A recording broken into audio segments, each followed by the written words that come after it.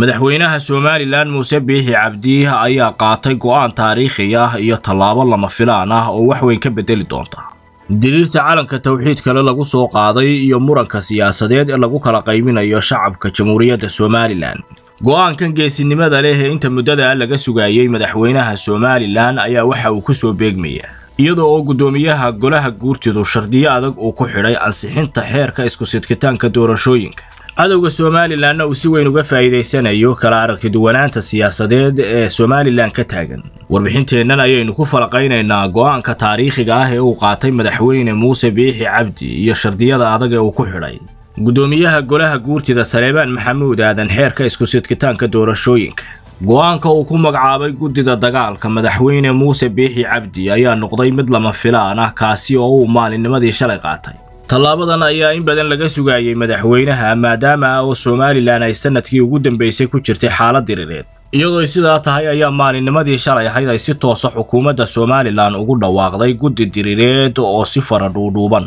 ula socon doonta xaaladda nabadgelyo iyo xiisadda colaadeed ee ka taagan gobollada bariga jamhuuriyadda somalilan go'aankan uu madaxweynuhu qaatay oo ah mid dheeli tiran ayaa mucaaradkana uu qayb ka siiyey iyada oo ay ka wada tashan doonaan qaabkii loo difaaci lahaa calanka tawxiidka leh sida oo kalena ay doorasho uga dhici lahayd somalilan sidoo kale guddida diriirta ee somalilan ayaa mucaaradkuna xubno ku yeelan doonaan sida ilawareedyo hoose u xaqiijiyeen warbaahinta xogogaal. Waxaana ay guddidani ka shaqayn doontaa laba dhinac oo uu ka koobaad yahay sidii loo difaaci lahaa calanka tawxiidka leh sida oo kalena looga gacan sarrayn lahaa huwanta magaalada laascaanood ee xarunta gobolka sool oo qorshayaal badan ka fulinaysa gudaha somalilan ciidamada qalabka sidaah ee jamhuuriyadda somalilanna ay u gaadhi lahaayeen soohdintii ay soo lumiyeen muddadii sannadka ahayd guddida tan ayaa si dhow oo dhuun daloosho ula socon doonta dhaqdhaqaaqyada gobollada bariga ee jamhuuriyadda somalilan iyaga oo la shaqayn doona ciidamada madaniga ah iyo kuwa milatariga ah ee somalilanba kuwaasi oo la filayo inay iskaashadaan.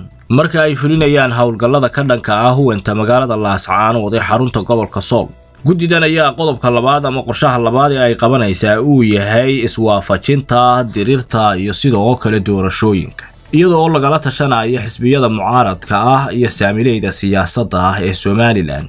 dhinaca kalena guddoomiya saleebaan maxamuud aadan ayaa shardiyo adag ku xidhay ansixinta xeerka isku-sidkitaanka doorashooyinka oo wakhtigan xaadirka ah golaha guurtida horyaala saleebaan maxamuud aadan ayaa soo gaabiyey safarkiisa sida ilawareedyo hoose ay u xaqiijiyeen warbaahinta xogogaal. Waxaana la filayaa inuu yimaado inta ka horraysa labiyo labaatanka bisha disembar ee aynu ku guda jirno. Waxaana kowkaa shuruudaha uu ku xidhay in doorasho loo dhan yahay oo ay dadka reer somalilan ku wada faraxsan yihiin ay qabsoonto. Maadaama xeerkani uu si weyn dan ugu ahaa xisbiyada mucaaradka ah ee hore u jiray hase yeeshee ay urur siyaasadeedyadu ka qayliyeen oo siiba ay si weyn uga soo hor jeesteen axmed ismaaciil samatar iyo cabdulaahi darewal oo laba urur siyaasadeed kala metelaya ayaa guddoomiyaha golaha guurtida waxa uu sheegay in la qanciyo labadan deegaan oo saamayn ballaadhan somalilan ku leh. Sidii loo qanciyey deegaankii buurta gacanlibaax galay ee jabhadda samaystay oo xeerka kan uu u noqday daawo lagu kala begsado. Saleebaan maxamuud aadan ayaa sheegay sharciga somalilan inaanu cid gaara u shaqayn hase yeeshee ay tahay dadka inuu wada qanciyo deegaamada tanina ay kaalin muhiima ugu jiraan somalilan oo aanay ka maarmi karin taasina ay sababayso. Inuu xeerka kan kor u hayo inta ay ku soo heshiinayaan saamileyda siyaasadda ee somalilan lana qancinayo labadan urur siyaasadeed. Guddoomiye saleebaan maxamuud aadan oo ugu sarreeya baarlamaanka jamhuuriyadda somalilan ayaa waxa uu doonaya in la galo doorasho loo dhan yahay oo lagu wada qanacsan yahay taasi oo somalilan aanay ku luminayn soohdimo cusub iyo nabadgelyada ay ku naalloonayso